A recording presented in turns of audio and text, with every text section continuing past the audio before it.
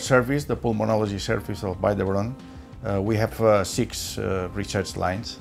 One is uh, occupational and environmental med medicine, let's say asthma and interstitial lung disease, idiopathic pulmonary fibrosis. We have another line that is C COPD. Another one is cystic fibrosis and immunodeficiencies.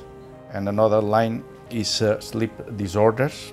And uh, probably one of the most important is uh, lung transplantation and uh, we are very active in lung transplantation. We, we made about 60, 60 a year, 60 transplant a year. And finally, we have uh, another, another line that is pediatric pulmonology. We are dealing with stem cells in the treatment of asthma, and we are opening a new line of stem cells in hypersensitivity pneumonitis.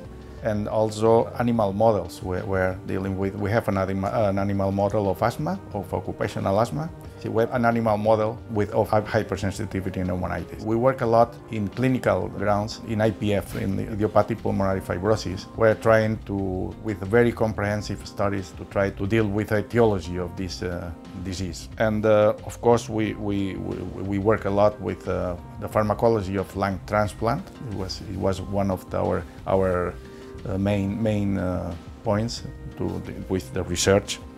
And uh, probably we are also referral center of uh, asbestos in, in Spain, and we, we, we, are, we are able to, to, to, to, to deal with uh, lung biopsies and electron microscopy with asbestos and other minerals.